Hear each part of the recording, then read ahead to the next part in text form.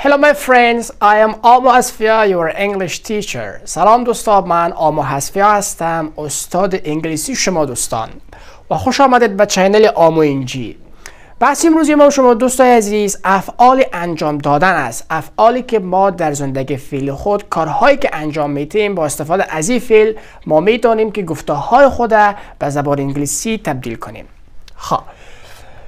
افعال انجام دادن به انگلیسی ما میگیم to do verbs. افعالی که یک کار انجام میتیم با استفاده از این افعال ما می‌تونیم در زبان انگلیسی استفاده کنیم. در زبان انگلیسی سه فعل انجام دادن است. ما کارهای خود توسط این سه فعل می‌تونم انجام بدیم. که عبارتن از do does و date do does نگفته نباید گذاشت که دیت شکل گذشته هر دو است و از دو دست ما در زمان فعلی یعنی زمان حال استفاده می‌کنیم. و زمان فعلی هم شما می‌دانید در درس های قبلی ما با شما یادآوری کردیم که در زبان انگلیسی ما هفت زمان فعلی داریم که کننده کار هستند و به جای فاعل استفاده میشه I من You شما We ما They آنها. امرای چهار زمیر فایلی ما شما دو استفاده می‌کنیم. بگونیم مثال I do من انجام می‌تونم You do شما انجام میتید که در زبان آمیانه میگیم تو انجام میتی We do ما انجام میتیم They do آنها انجام میتن خب و سه زمیری فایلی مفرد که در زبان انگلیسی آنها را میگن third singular persons. درست است که عبارت از he, she و it است که زمیر مرد، زمیر زن و زمیر بیجار است. He does او مرد انجام میده. She does او زن انجام میده. It does ای بیجان یا حیوان انجام میده. و گذشته هر دو دوست عزیز میشه دیت درست است نوشته کردیم در زمان گذشته یا قبلی استفاده میشه که هر هفت زمان فعلی توسط دیت استفاده می‌کنیم. بسیار زیاد مثال کار کردیم که شما منظم بفهمین و نگفته نباید گذاشت که در حالت سوالی و منفی هم مثال های زیادی کار بکنیم که شما دوستای ما خوبتر و خوبتر یاد بگیریم به مثال اول دقت کنین بچه ها میگم I do my homework. من کار خانگی من انجام میدم. درست است. اینجا که در بین قوس کلمه را حلقه کردیم یا دایره کشیدیم اینمی دو رو به انگلیسی میگن فعل انجام دادن. وقتی که کار خانه خود انجام می‌تونم با استفاده از این فیلم استفاده می‌کنیم در زبان انگلیسی. یا مثال بعدی We do our homework. ما کار خانگی ما رو انجام دادیم. احمد و محمود چند از دوستا بودیم کار خانگی خود انجام دادیم. You do the work. شما کار آنها رو انجام دادید. درست شد. He does her work. او پسر کار او دختر خانم انجام داد. یا مثال بعدی ایمان she does his job. و دختر خانم کار و پسر انجام داد. درست شد. کلن انجام داد انجام داد انجام داد است. این است حالات مثبتش در مثال اول می‌خوایم که جمله خود تبدیل کنیم به حالت سوالیه. خب دقت کنین. بعضیا اشتباه می‌کنن. چه خواستم تبدیل می‌کنن؟ دو رو میرن در اول جمله. بعد از دو فایل استفاده می‌کنن I. بعد از اون میگه my homework. My homework. و در اخیر هم هم یک سوالی هم میدن. خیلی ها دقت کنید این جمله اشتباه است do I my homework? جمله از لحاظ گرامری چی است؟ اشتباه است. فرض کنیم که دو درست است که در اول جمله آوردیم. بعد از او کرنده کارت استفاده کرده که آی است. در اینی قسمت وسط تکمیل کننده و کرنده کارت ما به یک فعلی اصلی ضرورت داریم. در این قسمت. که متاسفانه در جمله ما شما نیست. و دقت کنید در این قسمت. میمو یادداشت. یادداشت میگه؟ از فعل کمکی دو استفاده می‌کنیم برای ساختن جملات سوالی و منفی در این بخش. در افعال انجام دادن وقتی که بخوایم یک جمله را سوالیه کنیم ما از فیل کمکی کمک می‌خواهیم. درست است که اون فیل کمکی ما هم, دو است.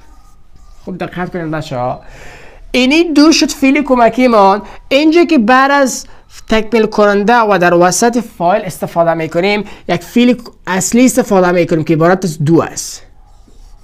درست شد؟ این جمله ما شما میشه سوالی. Do I do my homework آیا من کار خانگی من انجام می‌تونم خب. یا مثال بعدی. We do our homework. ما کار خانگی انجام میتیم اگر جمله رو بخوایم سوالیه کنیم با استفاده از زمین فرمول پیش بریم. خب. دوره مریم در اولی جمله؟ کننده کار ما شماست وی. درست شد. بعد از اون از فیل کمکی استفاده می‌کنیم. do بعد از اون تکمیل کننده میگیم. Our homework.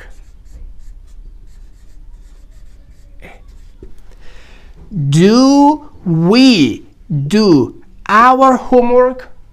آیا ما کار خانگی ما رو انجام میدیم؟ خب. مثال بعدی you do the work. تو کار آنها رو انجام میدی. درست است. خب. بگونیم مثال دوره بریم در اولی جمله از کننده کار ما شما چیست آفرین. you خب. بر از یو چی استفاده می‌کنیم؟ از فیل کمکی طلب می‌کنیم؟ do بر از اون تکمیل کننده؟ they work they work جمله رو میگیم سوالیه.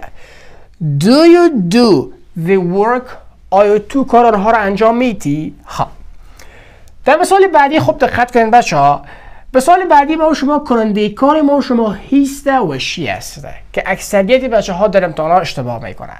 دست برن در اول جمله. بعد از کننده کار ما شماست هی. بعد از هی ما چی استفاده می‌کنیم؟ دست دوباره استفاده نمی کنیم چی استفاده می‌کنیم؟ دو استفاده می‌کنیم.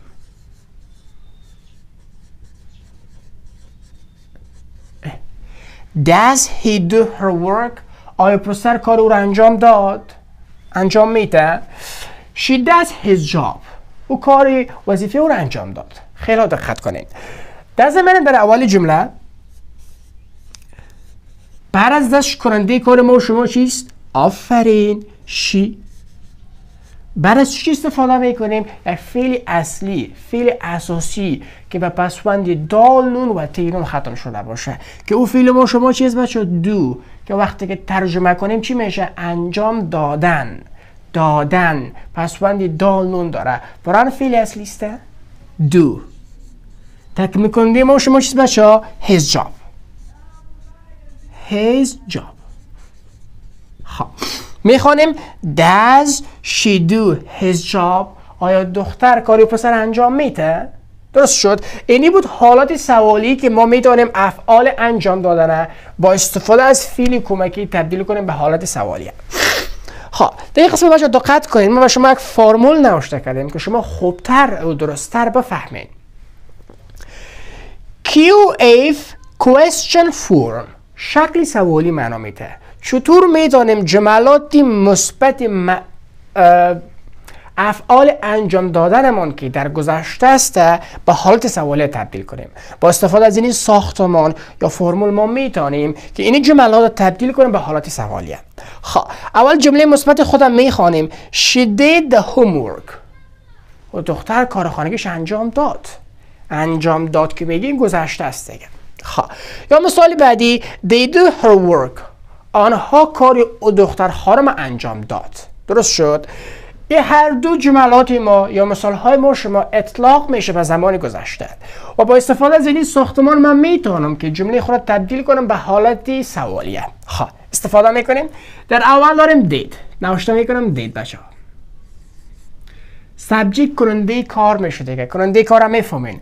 هر چیزی که در اول جمله باشه کننده کار هسته بگوری مثال فرزن در کننده کار ما و شما نام یک دختر بوده مرسل شیلا. و شما هم می‌فهمین که زمیر دختر چی است یا زن چی است باشه شی. بجای اسمش زمیر فعالیش استفاده کرده دیت دیت در ساختمان است. بعد از این علامه مثبت به انگلیسی میگن بچه ها پلاس علامه مثبت چی میگن؟ پلاس سبجیک ما شما چی است؟ شی ها ورب 1 شکل اول فیل دقت کنین. یک کمی تشریحات به شما می‌تونم و درسی بسیار بعدی ما است. انشالله به ویدیوهای بعدی وارد شما خواهیم شد. ها یک فیل بچه سه شکل اصلی داره.